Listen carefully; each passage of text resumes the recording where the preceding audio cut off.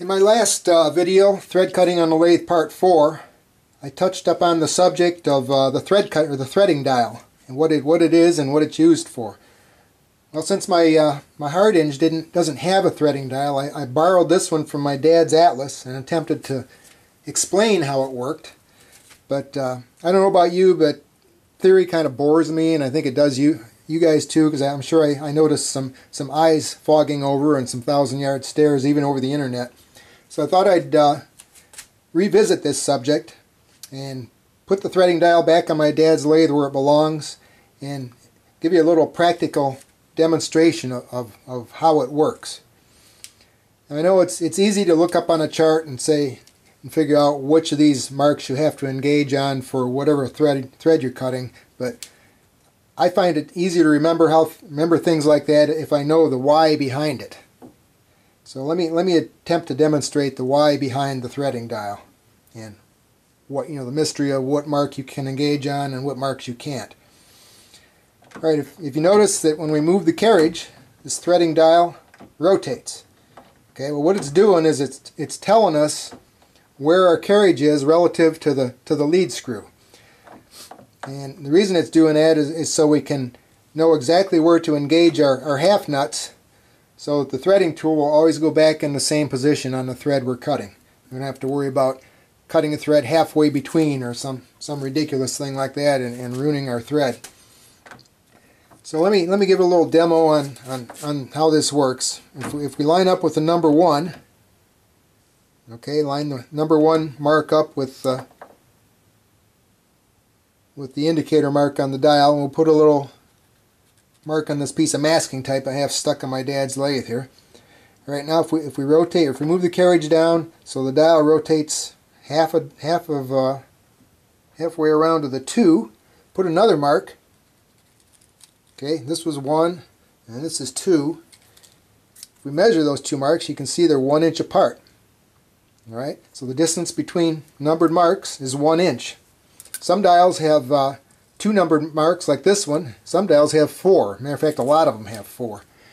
Um, right, in this case, since we only have two, if we go all the way around, put another mark, you can see the, the total distance we travel is two inches for one revolution of the dial.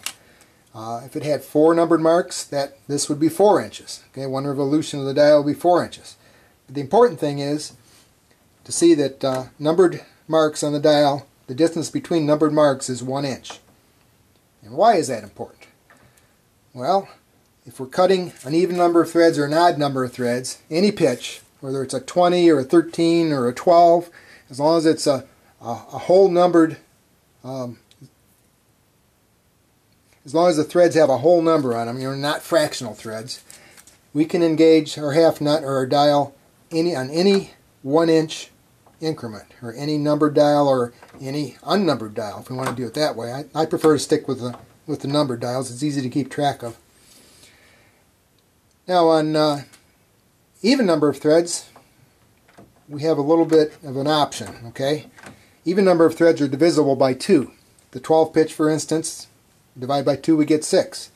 So we can do the same thing on our dial here. We can we can engage halfway between the numbered lines on one of these un unnumbered ones here and it'll still work. It'll work fine, okay? So that gives us a lot more opportunities to engage our dial. We don't have to wait around for the, the right number to come up. So an even number of threads, you can engage on any numbered division or any unnumbered division.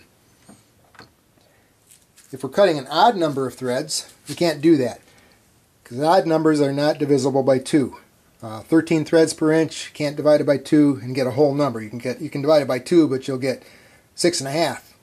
All right, so that means if we engage on a division between the numbered lines, we're going to put a thread right on top of the thread we, we cut the first time and totally ruin it. Okay, then there's always the uh, the odd or the fractional number of threads. Some pipe threads, for instance, like one inch a one inch pipe thread has 11 and a half threads per inch. Well, we can't we can't engage on a one inch increment for a for for an 11 and a half pitch thread because you can't engage on a half. If we if we do, we'll put a thread right on top of our old one. 11 and a half. It's not a whole number, so we have to go. We can only gauge, engage on a 11 and a half thread every two inches. Okay, two times 11 and a half is 23. Okay, so that's that's a pain pain in the butt to to machine a a half pitch thread because you can only engage your thread dial every full revolution, so it's a lot of waiting around. Alright, so I have a setup here to, to demonstrate the, the right and wrong way to use a thread dial. Um, I have the, the 1 inch 12 thread that we cut in the last video mounted in the chuck and I'm, I'm getting ready to, to make a nut to fit this thread so I have a, an internal threading tool made up on a boring bar and I've got this thing pointed or I got it lined up with the thread just so you can see what happens when you engage on the wrong line on the thread dial. Alright, I also got my little paper trick to backlit paper trick so you can see what's going on a little easier. So let's turn this thing on and see what happens. Alright, you can see the thread dial going around and now we're cutting an even number of threads. That means I can engage the half nut on any numbered or any unnumbered mark on the dial. Let's try the two here. Alright, I'm just going to let this thing go over the, get over the thread and then I'm going to shut the spindle off and let it coast to a stop, leaving the half nut engaged. Okay, now if we back our tool out until it goes in, starts cutting into or going into the thread, you can see it's perfectly aligned with the thread. Alright?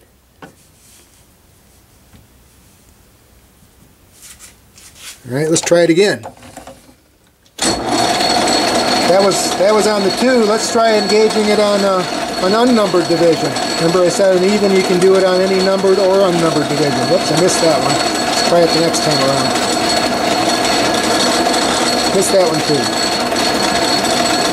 It's hard doing my camera in one hand and the left hand on the half nut. Alright, so let's shut the spindle off, let it coast to a stop.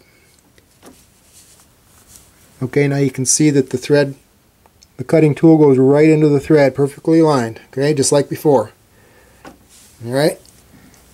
Now here's what happens if you do it wrong. Let's go back out here, start it up. So let's say uh,